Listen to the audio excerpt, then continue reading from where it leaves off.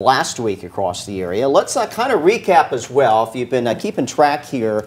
Uh, we are now up to nine confirmed tornadoes from last Wednesday. I did want to share the latest information with you. A new track was confirmed, the EF1 tornado in Elkmont across northern parts of Limestone County. And the new information has actually combined two tornado tracks, the one that touched down in the Old Town area of East Huntsville, uh, and then we also had a tornado tornado that occurred in McMullen Cove. Well, the National Weather Service has determined, just based on new data that they've been analyzing, that that was a continuous track. So they've renamed that one the Monte Sano tornado, which, by the way, that was the one where we sought shelter from uh, here at our WAAY 31 News studios as that storm moved over the top of the mountain. So that one gets that EF2 rating, and that was due to the uh, increased damage there around the McMullen Cove area.